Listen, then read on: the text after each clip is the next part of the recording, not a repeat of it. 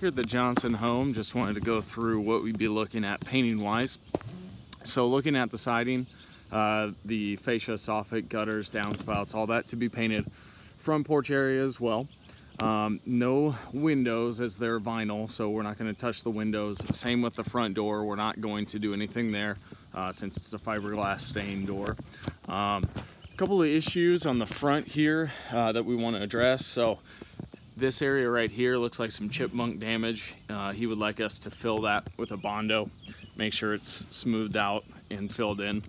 Um, he would also like us to remove the shutters, uh, which are just Phillips head screws, uh, three in each side. So taking those off, and then also the lights, Christmas light hooks, um, he would like those to be removed as well. So pretty straightforward on the front side, walking around to this side here, garage door is included.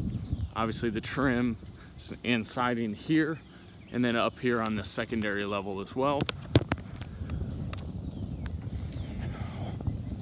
Work our way around to the back. Uh, he does want us to power wash the chimney. Uh, there's some black mold and some algae buildup on it, so uh, power wash that also around here. Make sure we try to power wash that, get it as clean as we can caulking that he would like addressed along this stone and wood.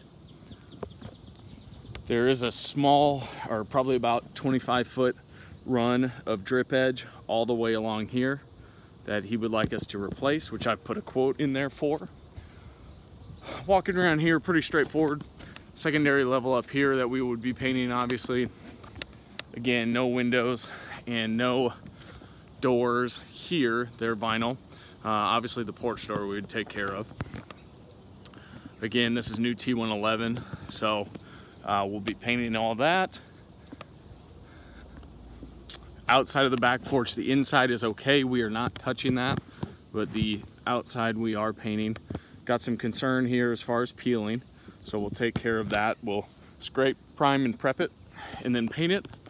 And then this side here, again, removing these shutters painting the siding and the trim.